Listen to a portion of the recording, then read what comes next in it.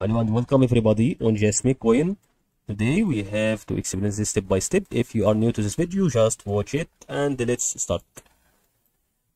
Okay, I hope you know what is going to be with the price prediction on JASMY. So we have this price that started from here and made this a lot of increases. Okay, this is the first wave we can indicate from here and the second one so the third one and the fourth one is going to be completed next time so this will be completed on this part okay? And the first fourth one will be the increase.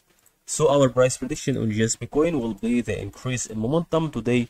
And we have the one day update which is going to be the price prediction as I think about is going to be the increase in momentum because we have complete wave here. And there, there is going to be a lot of green candles appearing on these parties. So that is a price prediction